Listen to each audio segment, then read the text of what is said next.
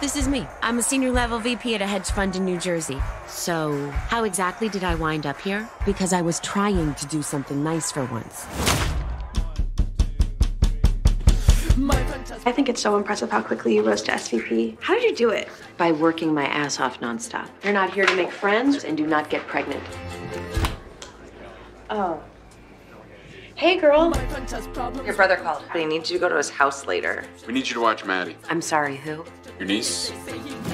I'd like you to fill out an order form for her to be in the proper attire. You know, I just really don't want to. I know, middle school is really the worst. But then everything got better and you're fine now?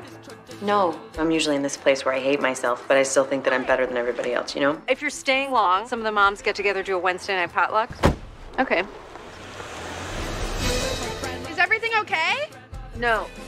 I'm watching my niece for the week. She's strange. I think she prefers being alone and making weapons of nature. Actually, we're gonna need you to stay just a little bit longer. Time to put your mommy hat on.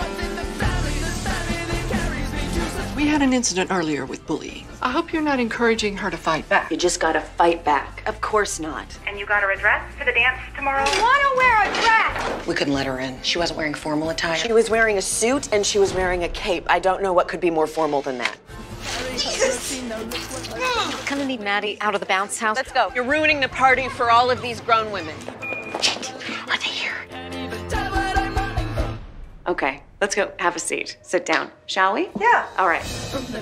You're checked out. I am not checked out. I'm having a really tough week. I've got a kid trying to be a juggalo. You don't belong around children. Oh! You belong in an airport wine bar. I just want to help. I don't want your money, Kate. I want a sister.